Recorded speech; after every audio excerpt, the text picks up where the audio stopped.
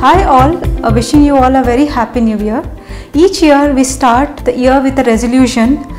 This year let's start with a purpose by turning our attention towards WHO uh, strategy of global elimination for cervical cancer. Each year January month is recognized as cervical cancer awareness month.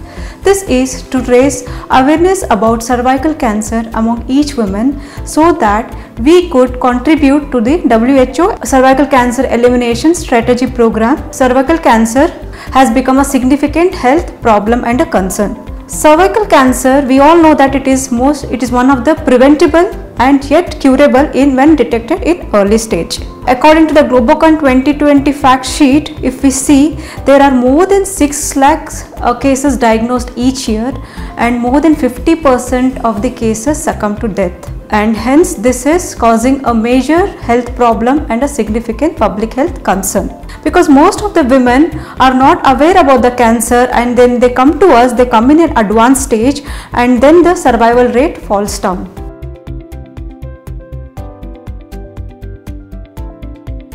Cervical cancer is the cancer of the uterine cervix that is the mouth of the cervix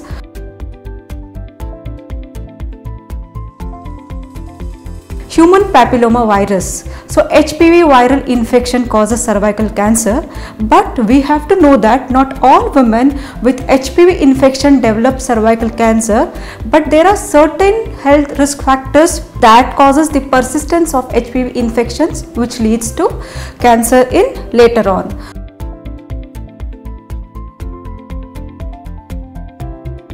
Early marriage or if there are multiple sexual partners or if there is smoking or alcohol addictions if there is oral contraceptive pills or if there is low immunity or there are associated other associated sexually transmitted infections these are high risk for developing cervical cancer later on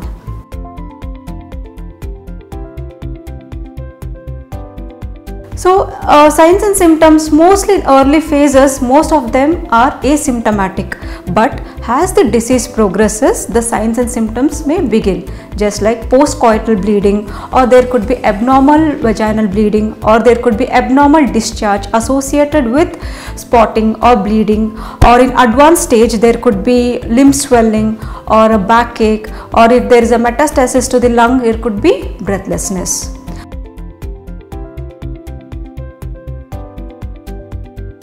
So there are few methods. First is number one that is primary prevention that we can prevent it by HPV vaccination, human papilloma viral vaccination or a cervical cancer vaccinations.